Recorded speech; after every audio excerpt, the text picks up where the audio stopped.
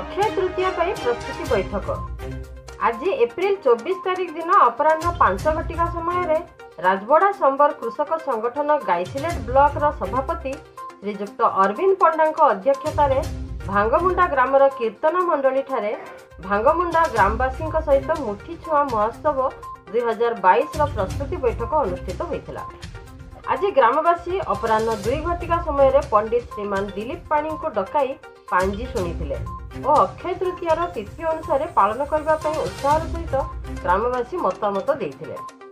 ପରେ ରାଜବଡ଼ା ସମ୍ବର କୃଷକ ସଂଗଠନର ପୂର୍ବ ନିର୍ଦ୍ଧାରିତ ଅନୁଯାୟୀ ଭାଙ୍ଗମୁଣ୍ଡାଠାରେ ଆଗାମୀ ମେ ତିନି ତାରିଖ ମଙ୍ଗଳବାର ଦିନ ଗ୍ରାମବାସୀ ଓ ରାଜବଡ଼ା ସମ୍ବର କୃଷକ ସଂଗଠନ ତରଫରୁ ମିଳିତ ଭାବରେ ଅକ୍ଷୟ ତୃତୀୟା ମହୋତ୍ସବ ପାଳନ କରିବାକୁ ପ୍ରସ୍ତୁତି ବୈଠକ କରାଯାଇଥିଲା। ଗାଁର ଚାଷୀମାନେ ଅନେକ ମତାମତ ଦେଇଥିଲେ।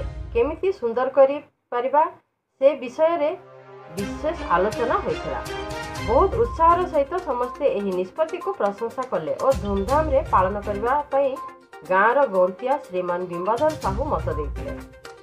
ଏହି ବୈଠକରେ କୃଷକ ସଂଗଠନର ସମ୍ପାଦକ ଗଜପତି ସାହୁ ଗ୍ରାମ୍ୟ କମିଟିର ସଭାପତି ବିପିନ ସାହୁ ବକୁଳ ସାହୁ ଡୋଳାମଣି ସାହୁ ୱାର୍ଡ ମେମ୍ବର ସୁଦାମ ଧରୁଆ କୀର୍ତ୍ତନ ଛତ୍ରିଆ ସୁଦାମ ଚରଣ ସାହୁ କୁଳମଣି ସାହୁ ଦିଲ୍ଲୀପ ସାହୁ ଗ୍ରୁପ ଛତ୍ରିଆ ଲଳିତ ସାହୁ ଅକ୍ଷୟ ସାହୁ ଓ ଗ୍ରାମବାସୀ ଉପସ୍ଥିତ ଥିଲେ।